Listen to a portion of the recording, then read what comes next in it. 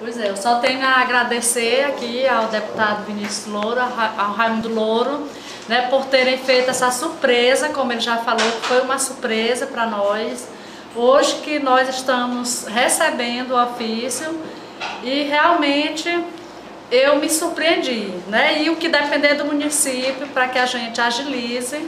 né, com esse projeto a gente vai estar agilizando para que a coisa realmente aconteça. Olha, a gente fica muito feliz de trazer esses benefícios à região do Médio Mearim,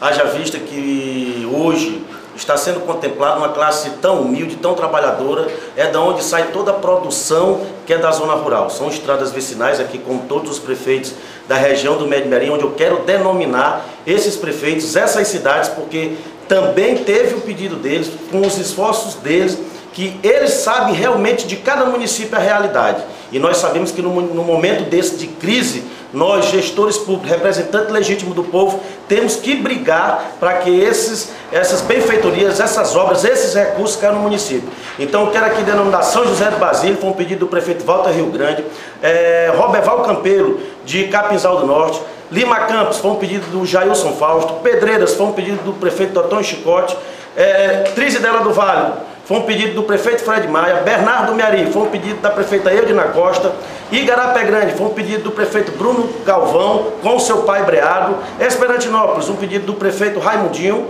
e Lago dos Rodrigues, um, um pedido, foi pedido do prefeito Valdemar da Serraria. Então isso aqui